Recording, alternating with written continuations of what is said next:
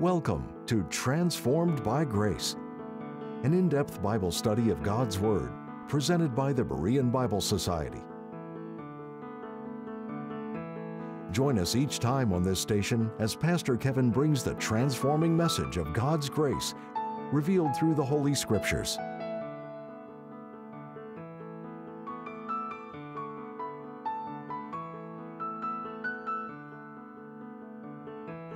Potluck one Sunday after church, someone dropped a plate full of dessert on the floor. This is how people with different spiritual gifts might respond. The gift of service. Oh no, let me help you clean that up. Uh, gift of teaching. The reason that it fell was because it was too heavy on one side. The gift of exhortation. It's okay, don't be discouraged, but next time maybe you should let someone else carry it. The gift of giving. Here, you can have my dessert. Gift of mercy. Don't feel too bad. It could have happened to anyone.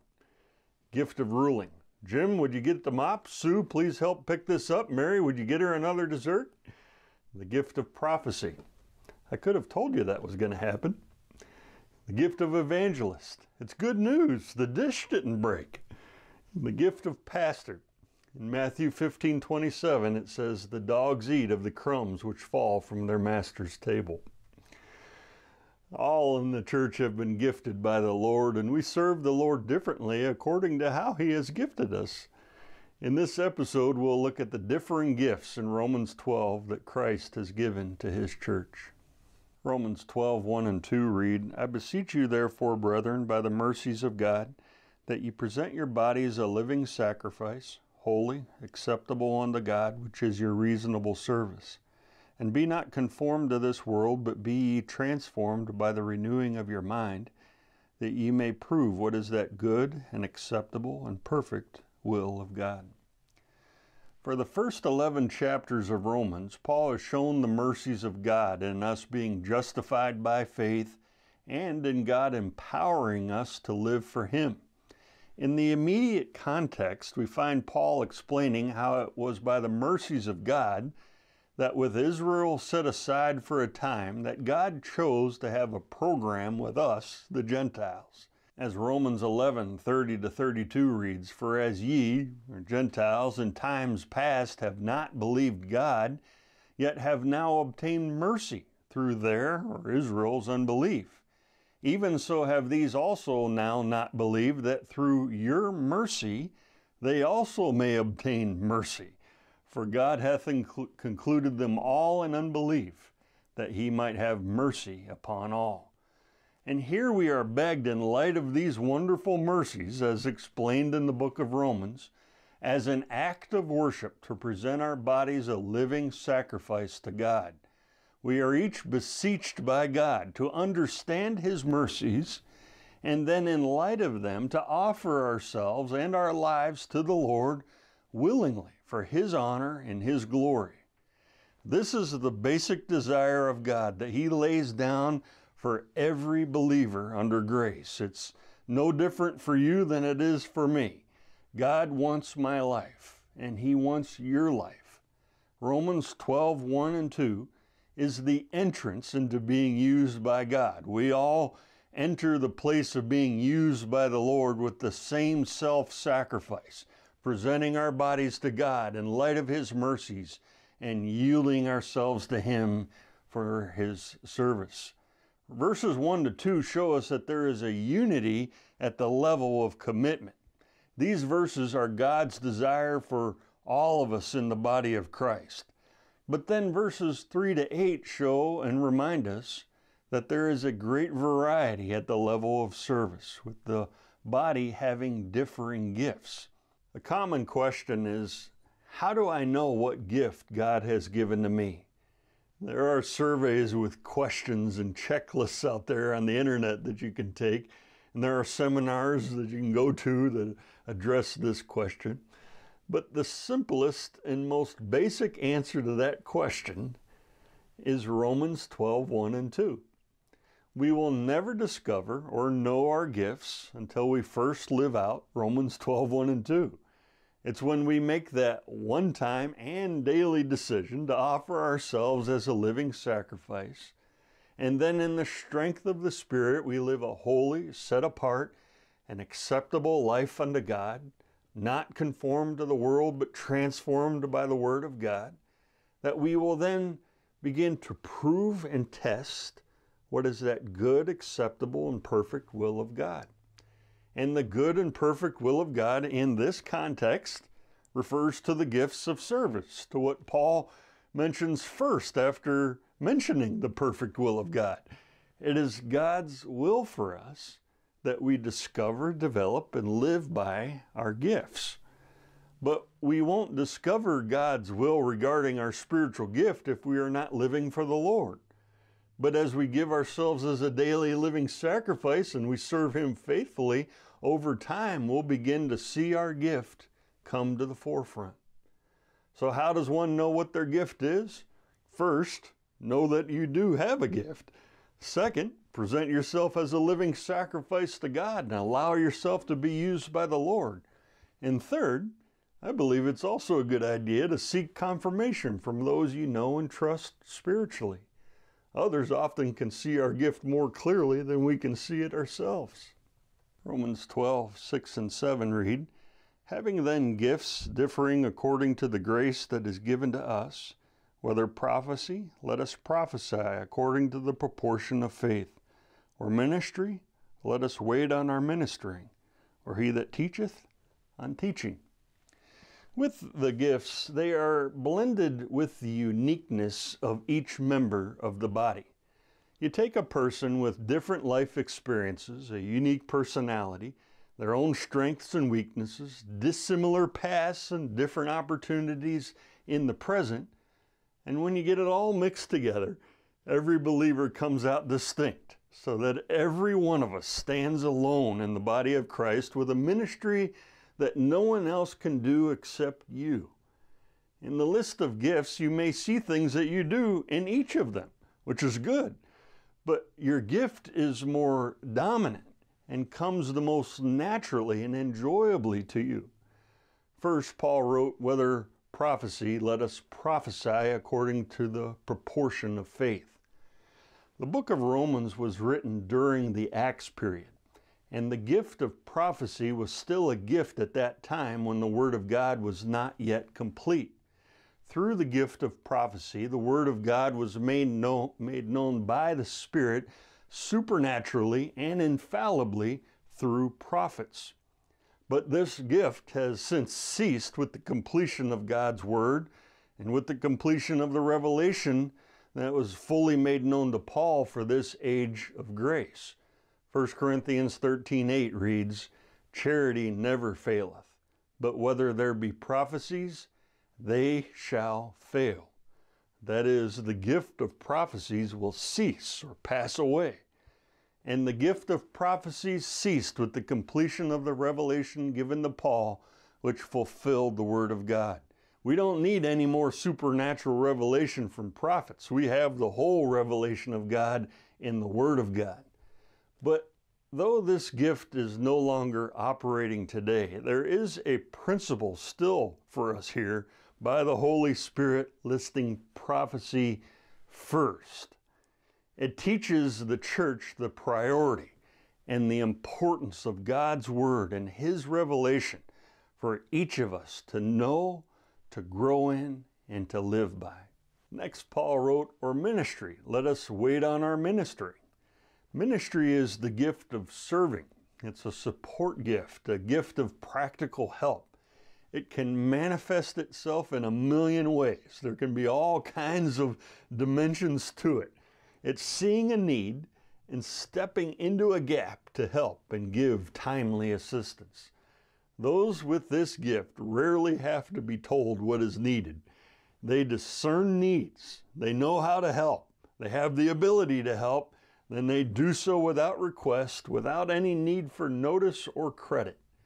Those with this gift are usually not up front types and will likely never preach a sermon, and they don't like the limelight, but the church could not function without them. This is a quiet gift. Those with it are often unnoticed and overlooked. It's interesting how The gift of service often takes place behind the scenes, but if it's not done, then everyone notices in the church. Those with this gift are vitally important to the church. This gift is also a high percentage gift, meaning that a large number of people in any congregation are likely to have the gift of service. But this gift being so high on the list is interesting also. The Holy Spirit wants to highlight the fact that serving, the least public, the least honored gift, is an exalted position in the body of Christ. To serve is to be like our Savior. Christ said in Mark 10 43 to 45 that whosoever will be great among you shall be your minister, and whosoever of you will be the chiefest shall be servant of all. For even the Son of Man came not to be ministered unto, but to minister. We see the gift of service at the local church in so many ways with the music ministry, the weekly bulletin, working in the soundboard, cleaning, repairs in the church, the nursery ministry, organizing church dinners, doing the grass cutting, snow shoveling, meal ministries, and so on. The church is dependent on the helpers, the service, the servers. They are a mighty army of workers who serve without any thought of return, who labor for hours behind the scenes, who invest untold hours so that the Lord's work might go forward. Next, Paul wrote, Or he that teacheth on teaching. We get our word didactic from the Greek word translated as teacheth here. This gift of teaching speaks of an informative, educative, systematic training. The gift of teaching is the function of systematically training people in the Word of God taking them from point A to point B to point C systematically. This can be done one on one, can be done in small groups or in large groups. You see it constantly taking place in the ministry of the local church and the adult and young people's Sunday school classes and the various Bible studies, ladies' studies, men's studies that take place in the church. Teachers have the special ability to communicate the revealed truth of God with knowledge, ease, and clarity. They are gifted in bringing the Word of God to life by expounding, interpreting, and unfolding the meaning clearly so that the people of God may understand what the Bible says and how to apply it to their life.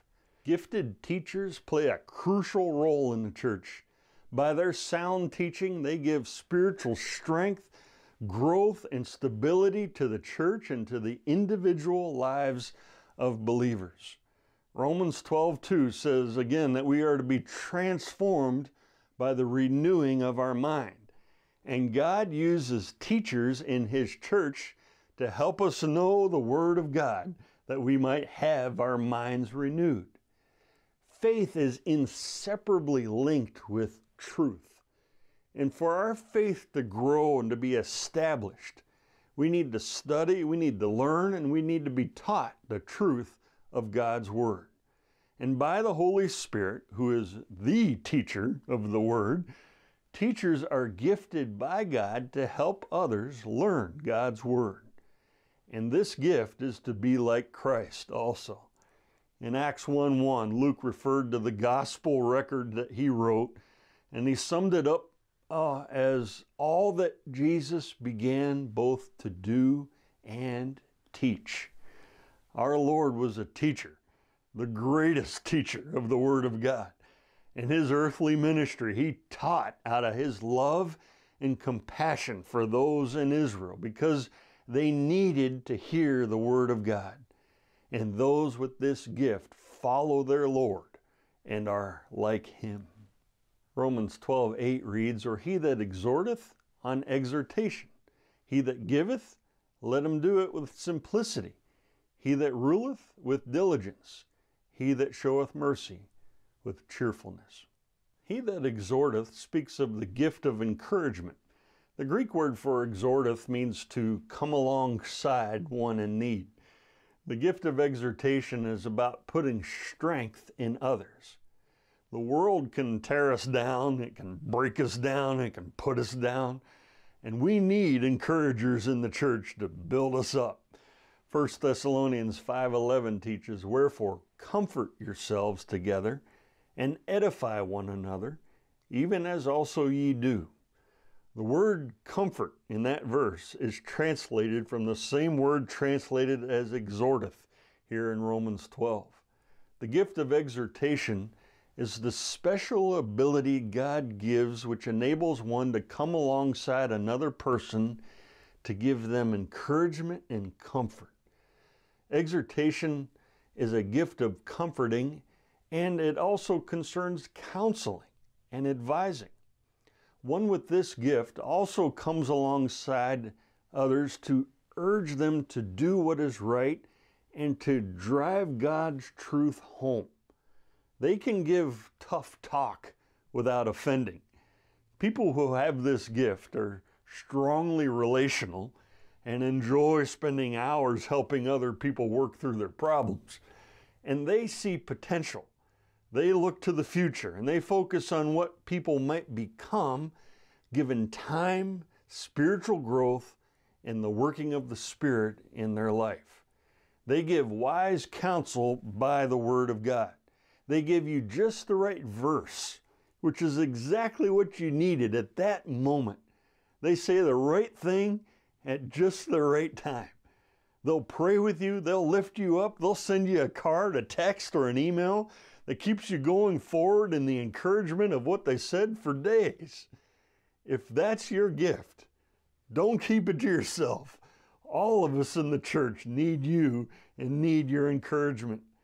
And this gift is also to be like Christ, who, as the prophet wrote of him, and his name shall be called Wonderful, Counselor, the Mighty God. Our Lord is the true and greatest counselor who cares deeply for us in our need and in our hurt. He is always there to come alongside us, to comfort us, counsel, exhort, and encourage us in our walk with Him.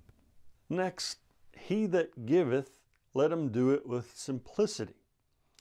All are called to give in the church, but some have the gift of giving.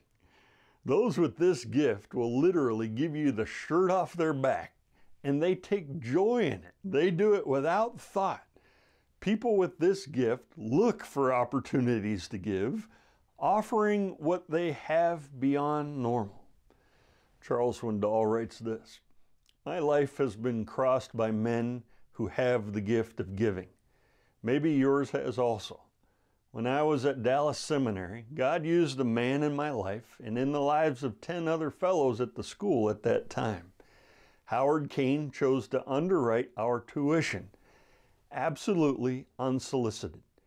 Each time tuition came due, there was a check in the mail. I remember one time he came to Dallas and got all 11 of us together and said, I want us to take a drive downtown. After a sandwich, he took us several blocks away to a men's store.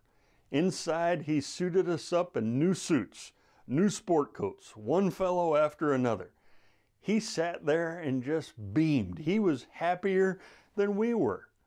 He wasn't wealthy but there was something inside of him, a spiritual gift that was not satisfied until there was an outlet for that gift.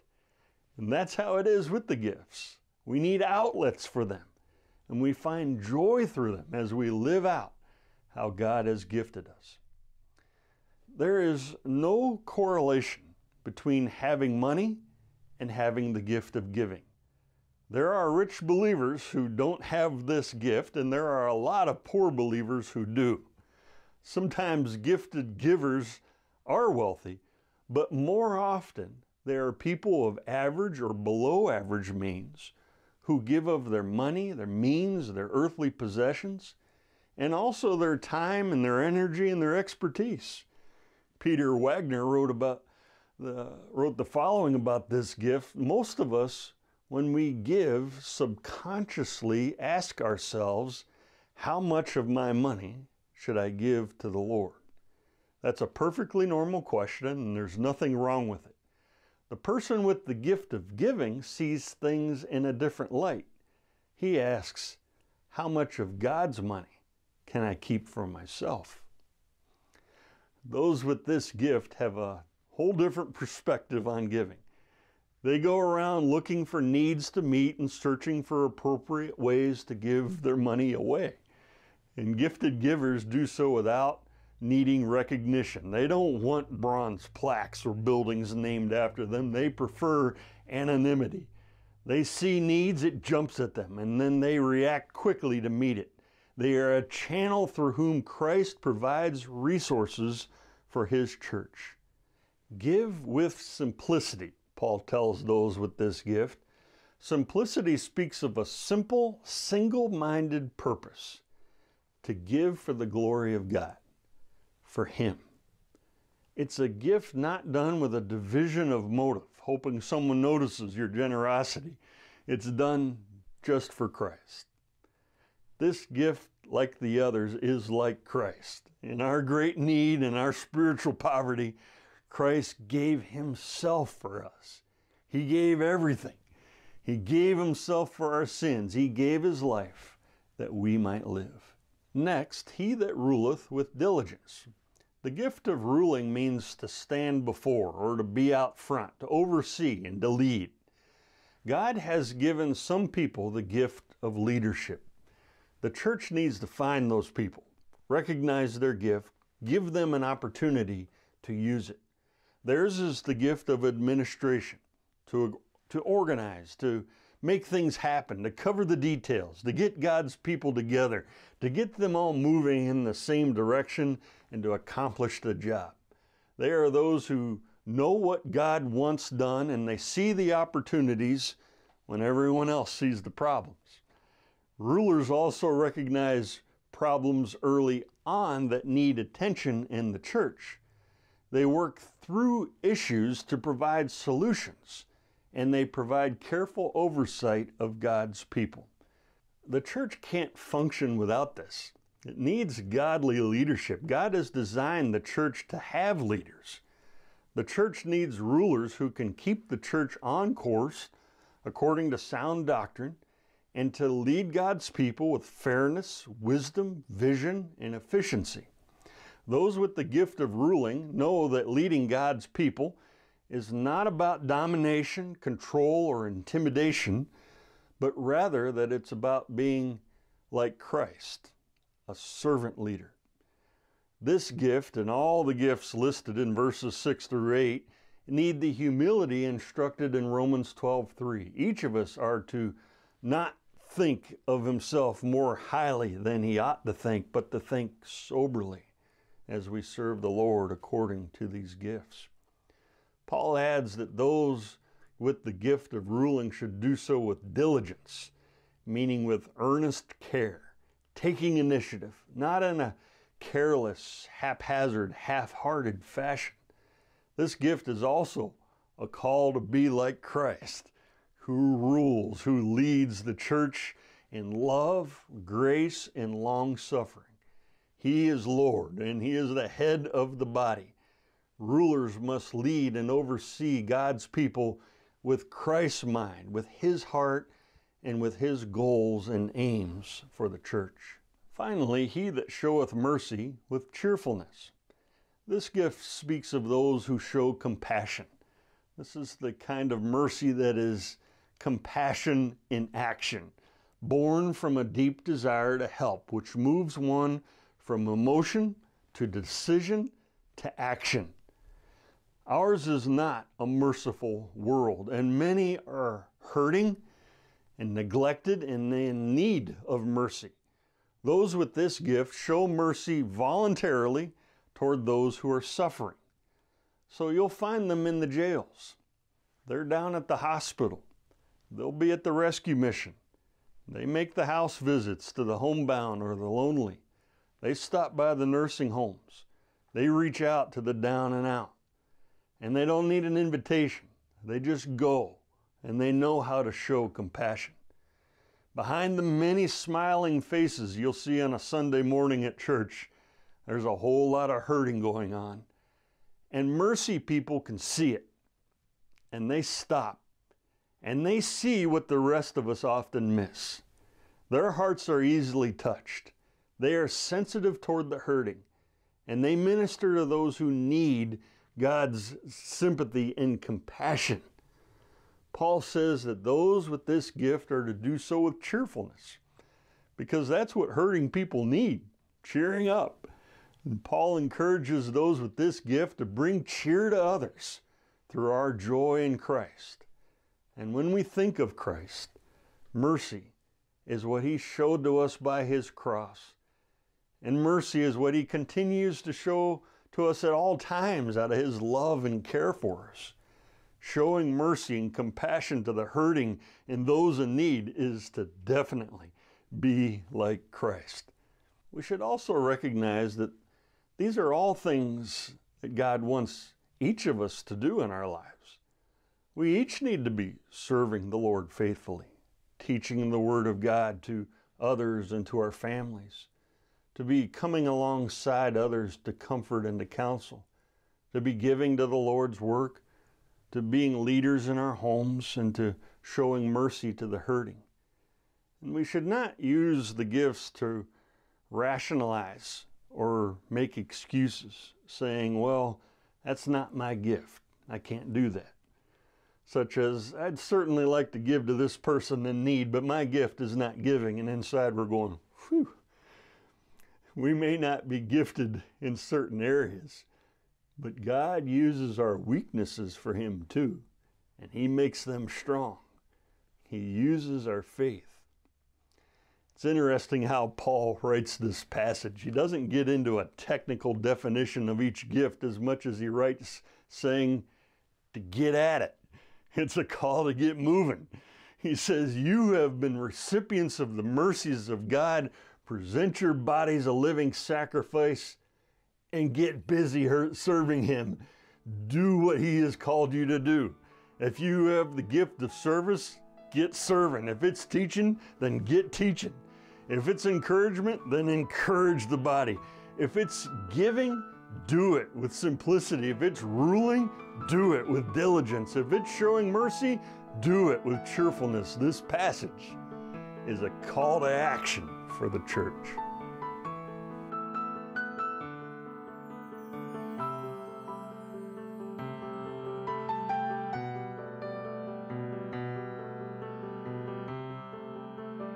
Thank you again for tuning in to Transformed by Grace. We appreciate your prayer support and the financial gifts. The purpose and mission of the Berean Bible Society is to help you understand the whole counsel of the Word of God.